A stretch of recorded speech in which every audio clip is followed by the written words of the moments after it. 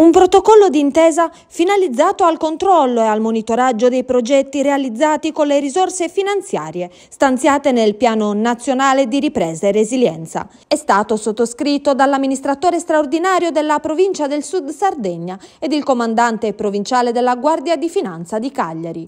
La collaborazione ha validità fino al completamento del PNRR, quindi non oltre il 31 dicembre 2026, e prevede che gli enti locali comunichino al comando provinciale della Guardia di Finanza informazioni e notizie qualificate ritenute rilevanti per la repressione di irregolarità, frodi ed abusi di natura economico-finanziaria di cui sia venuta a conoscenza nell'esercizio delle proprie funzioni di monitoraggio e controllo.